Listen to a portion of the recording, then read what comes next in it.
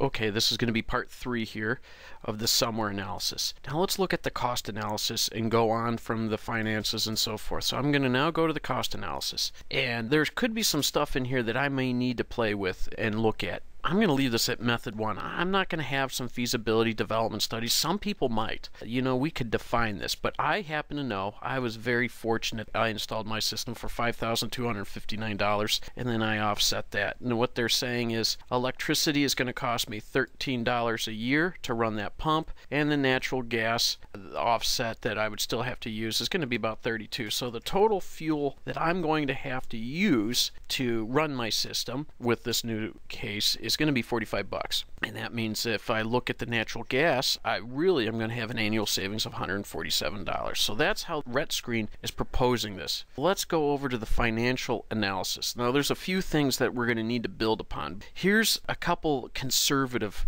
rates. There was a time when the fuel cost escalation, and we can find that through a variety of means on the internet, but there's some financial analysis that's been performed over the years from like Energy Information website and some others that this cost has actually decreased over time. It once was increasing quite substantially, but the last three years our economy has gone down and the fuel cost escalation rate has gone down. I think 3% is a sufficient value, and the typical rate of inflation is 3%. I think those are valid numbers. I think they're probably typically conservative, but that's what I'm going to leave with you. Now, on my proposed site, I'm going to have it up for 40 years. I don't see any reason why it couldn't last that long. There's nothing that would cause it to fail. This is a pretty robust system.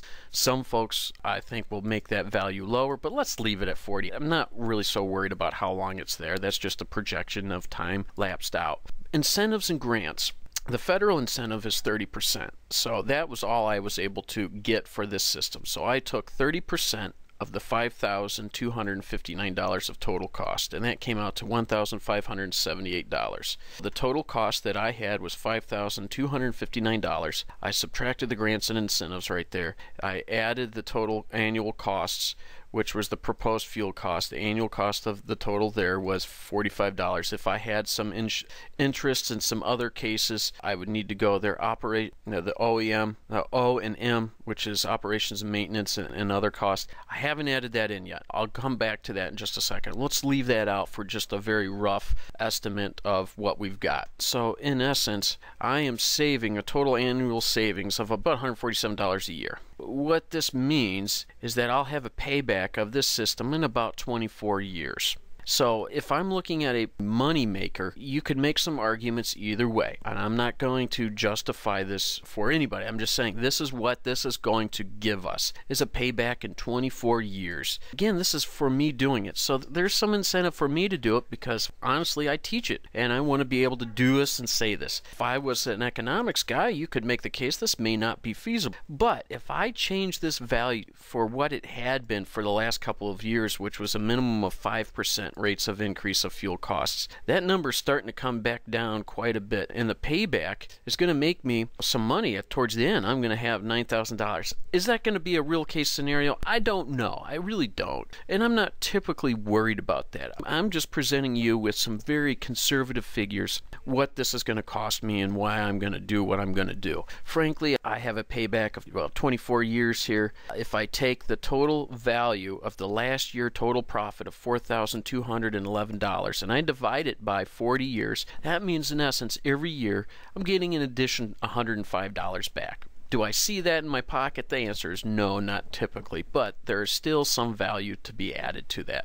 So if I go down to the cost analysis, what I want to do is come back to cost analysis and I want to go over to the user defined periodic costs. And so I can add some stuff into these values down here. What I could do is user defined costs or credits. And I could do year, 30 years, unit cost of $30. Or I can change that value out to a 10 year period and the unit cost is that. Now, when I come back to the financial, we're moving through the quick. But if I come back here, now you see that over a 10 year period that the monthly OEM operations and maintenance cost is 30 bucks. That drops my values down and brings that out a little bit. But you know, I, whew, there's some values that could be fun. Periodic credits and so forth. I'm not the finance guy. I'm not really the big pusher of this. I'm just trying to help us out do a site assessment to look at rate of the internal rate of returns, which is the IRRs here, that I'm getting a rate of return of about 3.5% if I look at it over the course of time. That's not too bad interest rates on a rate of return of just a regular savings account is nowhere near this. How about interest that's coming back from a 401k? You can make an argument that the 401k could be paying you back more. I'm just letting you know these are values to take a look at. Here's three things to be on the essence for. Now, what we're going to do is look at our final project and make some determinations for what we have.